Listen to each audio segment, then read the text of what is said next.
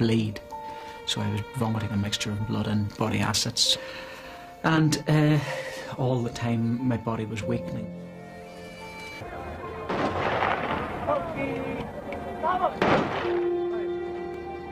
They died in vain because we didn't do enough to stop them dying. It was our fault that they died. Not only was the hunger strike a defeat, but the whole campaign of violence was a defeat. It was certainly not worth dying for, what has been brought about now. What we have here is a British solution to the Irish problem. Uh, we don't have an Irish solution to the Irish problem. On a bad day, I asked, was, was it all worth it? Was it worth it?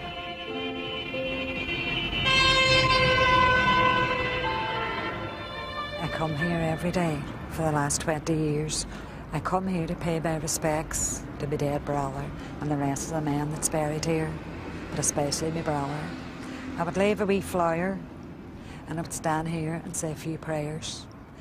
And I have to speak on his behalf. So guide me then as I'm speaking on his behalf. Let me say the words that he would want me to say about him. Mickey Devine was 27 years old when he died in the Maze prison on the 20th of August 1981. He was the 10th and last man to die on hunger strike. 20 years on, the mural artists are keeping their memories alive. The 10 dead men have become Republican icons. Such a courageous feat in defence of uh, one of the biggest powers in the world. And uh, I mean, 20 years on, the legacy still stands. I mean, this is more of a tribute. It's not trying to remind any people. It's almost from a popular response. The people are saying, do you know what's happening? We want to know. The kids are just lined up, wanting to know stories. Did you know them? And if by fact you're lucky enough to have ever have known one of them, you know, it's almost sort of comes back. You almost get some sort of respect from it as well. I, I saw them as the enemy. Let's be blunt about it. And um, I thought I saw what they were doing as criminal in terms of uh, the number of ordinary innocent civilians who were being slaughtered.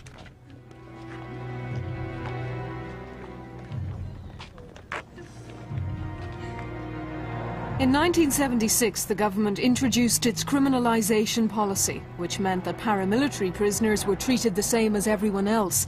But Republican prisoners believe they were fighting a war and should therefore be treated as political prisoners. So this new policy sparked a series of protests in the prison. The inmates demanded five concessions, including the right to wear their own clothes. They refused to wear the prison uniform and instead wore no clothes at all. This was the blanket protest.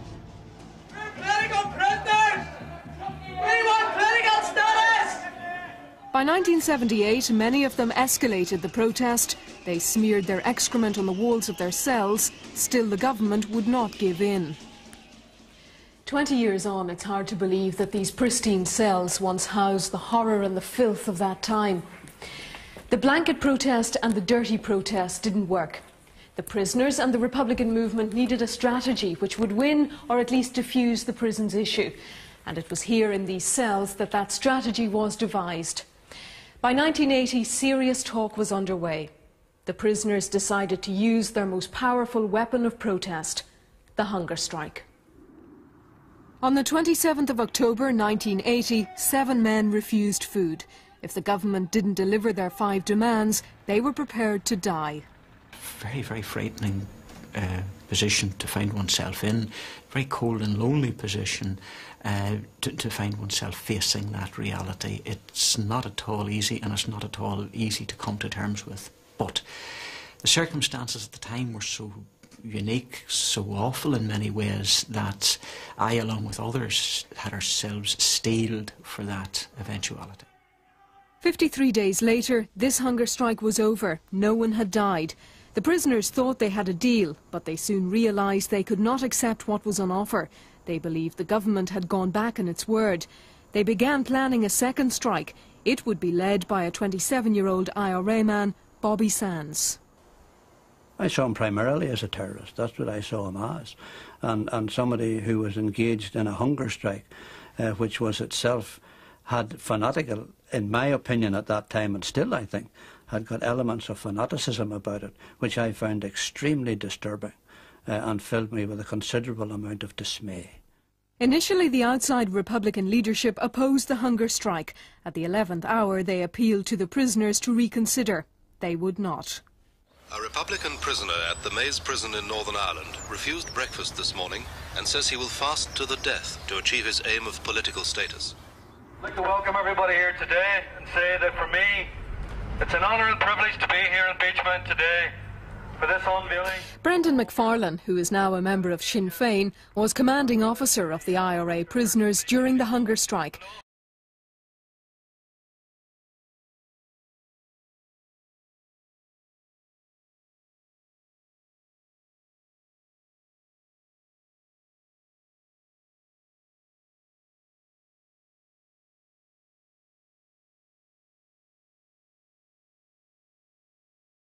Throughout that time, they stayed in daily contact with the outside leadership. And will never be forgotten. They wrote on pieces of paper which were smuggled in and out of the prison, often via a goodbye kiss. These notes were called comms. For security reasons, the prisoners used code names. Bobby Sands was known as Charlie.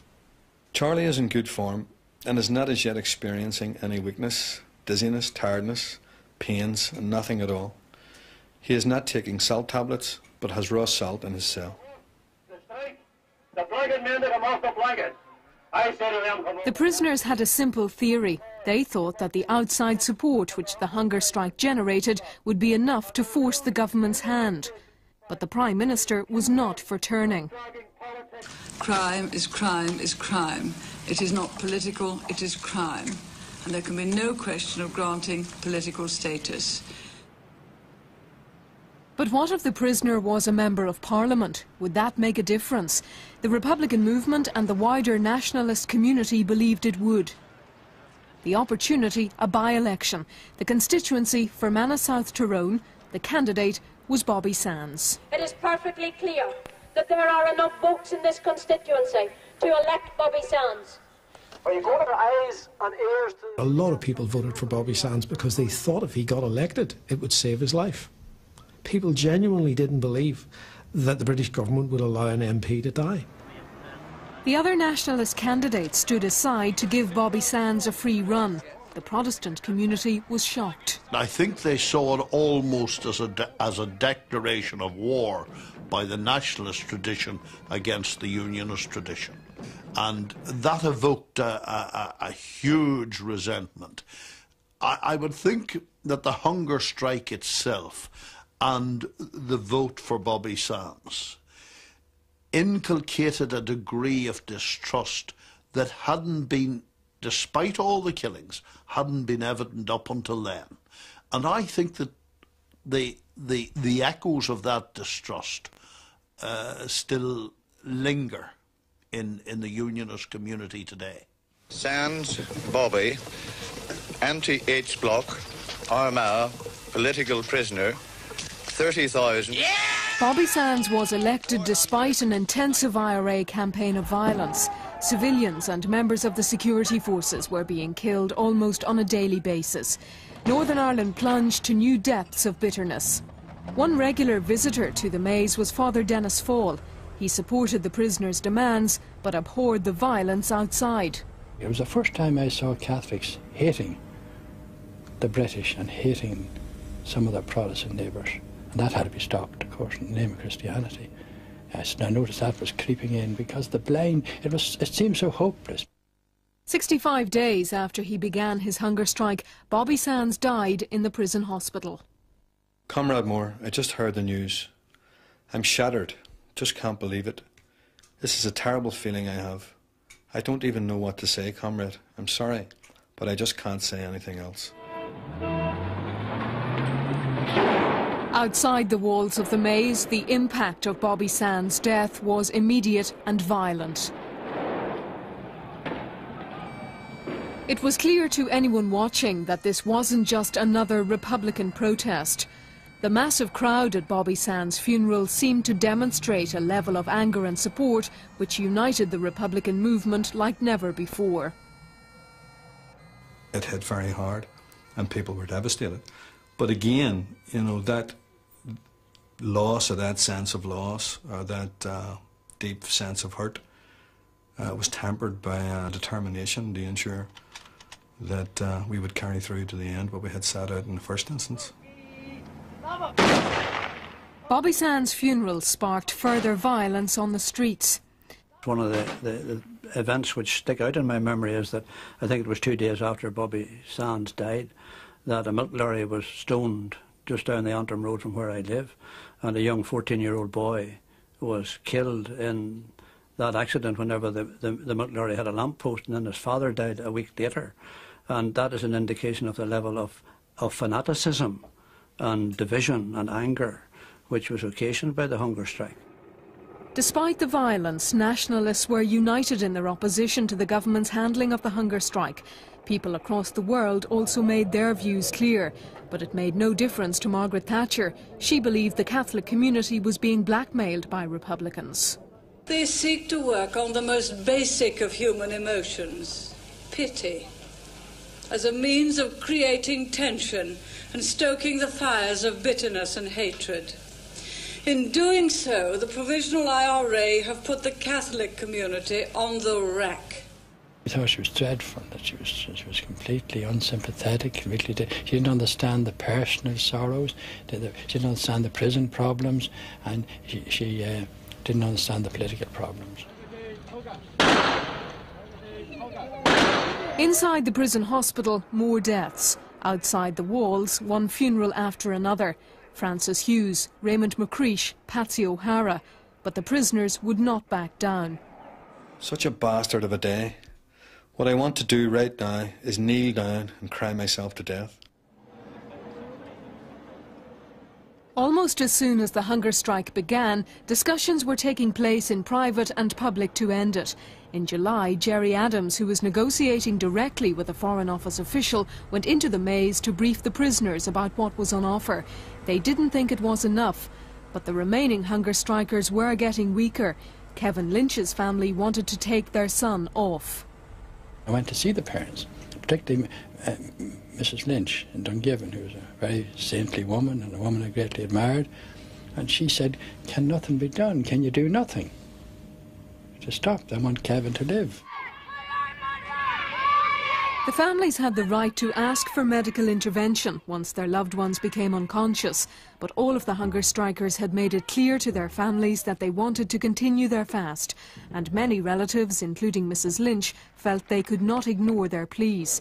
However, others could not watch their son or brother die. The pressures that were put on these families was immense, and some of the families intervened, and that's their choice, and we respect their choice and we understand the immense pressure that they were under. But the manner in which people like Father Faul intervened there was despicable. I put the blame solely, solely on Margaret Thatcher because I knew she would have let 110 men die. Now, that much you could say about Maggie Thatcher, but what I would like to state about her is that the day she dies, that they can close the gates of hell and say, Hell is full. She believed absolutely fundamentally that there was no political cause which condoned murder. She took this view everywhere in the world, in the Middle East as well as in Northern Ireland, that you did not give in to, to terrorism or to violence, or even picket line violence with the miners, if you like. I mean, any sort of violence she felt that you did not negotiate with. The family's intervention marked the beginning of the end of the protest. The prisoners began to lose control of it. Almost seven months and ten deaths later, the hunger strike was called off. I then headed for the hospital and saw all the hunger strikers together and covered all the points with them. They got a sound breakdown on the situation and agreed to a man that the intended course of action was our only option. The day the last hunger striker, Mickey Devine, died, Republicans were claiming another victory. Bobby Sands' election agent Owen Carron won the Fermanagh South Tyrone by-election. So in just four months, the Republican movement had discovered a new weapon, the ballot box.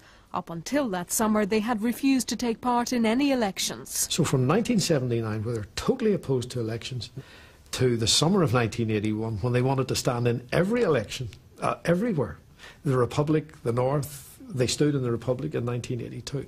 So it was the hunger strike elections and the vote they got which absolutely galvanised them. They really knew they had a substantial electorate out there. Sinn Féin's political strategy was gaining momentum. Two years after the hunger strike, Gerry Adams won a Westminster seat in West Belfast.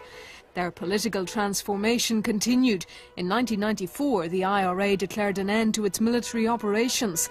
Three years later, Sinn Féin signed up to the Mitchell Principles of Non-Violence, and then in 1998 they gave their backing to the Good Friday Agreement.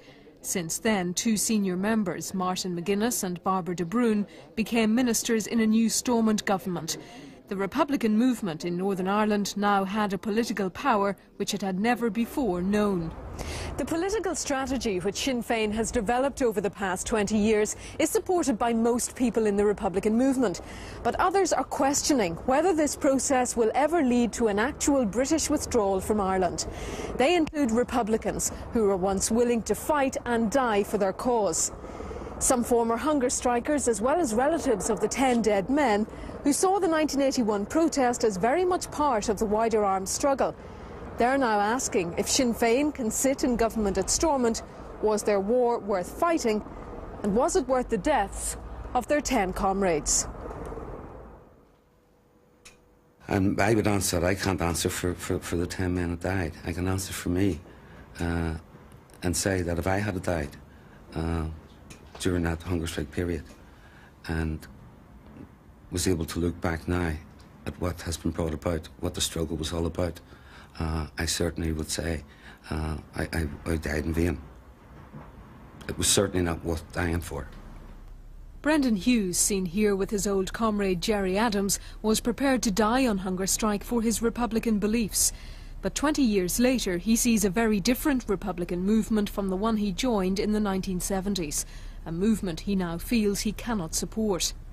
Last October, he helped carry the coffin of Joseph O'Connor, a member of the real IRA, which violently opposes the peace process. Joseph O'Connor's death brought the divisions within republicanism out into the open. The Provisional IRA said it didn't kill him, but the O'Connor family is convinced it did. So was former hunger striker Marian Price. Volunteer Joe O'Connor was clear in his opposition to British rule. He did not dissent from Republican principles or ideals.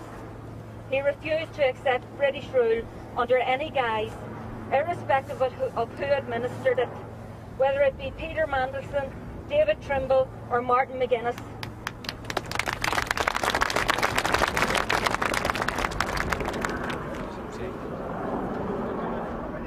I never envisaged this. I certainly didn't go to prison for this. I certainly didn't join the IRA for this uh, and struggle uh, my life for this.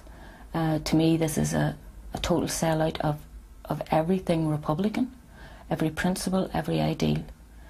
Uh, it doesn't matter who's sitting in Stormont. Stormont is unacceptable to Republicans because it's a British administration in a part of Ireland. Well, we would dispute that we're administering British rule in Ireland. We are in a transition towards the objective of an Irish Republic. And we're people in struggle.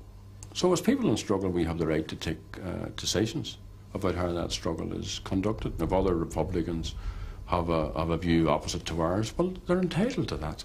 They're entitled to that. What I would take issue with is that they don't have to have the hard word or the harsh word or the, or, or the cutting edge or the vitriolic uh, sort of pose that they sometimes take up in these, these, these matters. They seem to be more fixated with attacking other Republicans than they are about actually tackling the root cause of the problem in Ireland, which is the British involvement and the British uh, connection. The security force presence provokes a hostile reaction from all Republicans, and opponents of Sinn Féin's strategy fear that regardless of whether this process works, there will always be a British presence here. Those opponents are a minority. But Republican leaders are sensitive to their criticism. Two weeks ago, at a commemoration ceremony in the heart of South Armagh, one of the most senior figures in the movement addressed the issue directly. Brian Keenan is the IRA's link with John de Chastelain's decommissioning body. Don't be afraid of the phase we're in. That phase will either be successful or it will be over. The Good Friday Agreement will either stand or it will fall. Those who say the war is over, I don't know what they're talking about. What war? The revolution can never be over until we have our country, until we have British imperialism where they belong, in the dustbin of history. Some Republicans aren't prepared to wait. While the Provisional IRA says it will renew talks about decommissioning its weapons, the real IRA has been putting its own to use. Both it and the Continuity IRA have carried out a series of bomb attacks since the Provisionals called their ceasefire. The security forces believe they are growing in numbers. Their use of violence gets a mixed response from those who oppose the political process. Some condemn it, some support it. I think uh, if the British give a declaration of intent to withdraw, even if it's 10, 20 years down the line, that removes uh, the arms out of Ireland. It removes the, the reason for fighting the war. But as long as the, the partition of Ireland remains, there will be people prepared to, to fight. And I would not condemn them. I would not condemn them as long as the border remains. Republicans have always viewed the government's involvement here as the main cause of the conflict. In 1981, the prisoners used the hunger strike as a weapon against that involvement. But now some of their families are asking what was the point of it all. Mickey Devine was jailed for possessing weapons in 1977. His sister imagines a future her brother never lived to see.